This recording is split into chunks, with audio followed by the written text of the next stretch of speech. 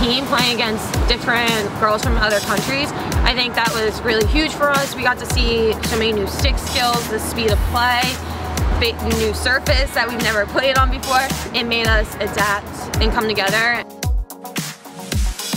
We made some adjustments to our game even from the spring. So we had the spring little segment and now we got we have this. So having, you know, five weeks or whatever it is left before preseason, we have some information. So we can use that with those people, you know, in preseason and uh, I think it's gonna be something to build off of.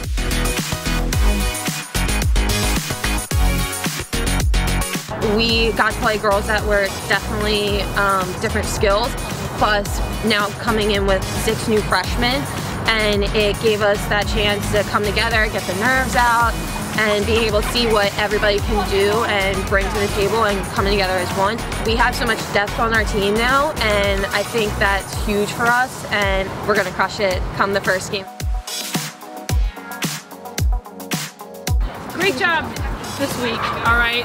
We accomplished what we wanted to with this trip we adapted really well to the new system, really got creative, and we, we started to really see, you know, what we can do. We know that, we felt it, we know what to do, now we can just make it better.